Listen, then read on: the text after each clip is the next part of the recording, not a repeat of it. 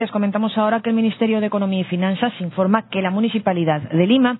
solicitó dejar sin efecto la información remitida que sustenta el pedido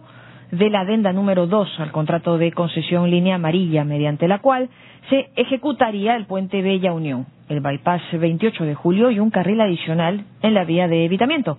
A través de un comunicado se precisa que la Comuna Metropolitana presentó el pedido el día 22 de junio, señalando que remitirá posteriormente la información necesaria solicitada por el MES. El Ministerio de Economía realiza esta aclaración tras las recientes declaraciones de funcionarios de la Municipalidad de Lima, donde piden se autorice la adenda del contrato mencionado para iniciar la reconstrucción del puente Bella Unión.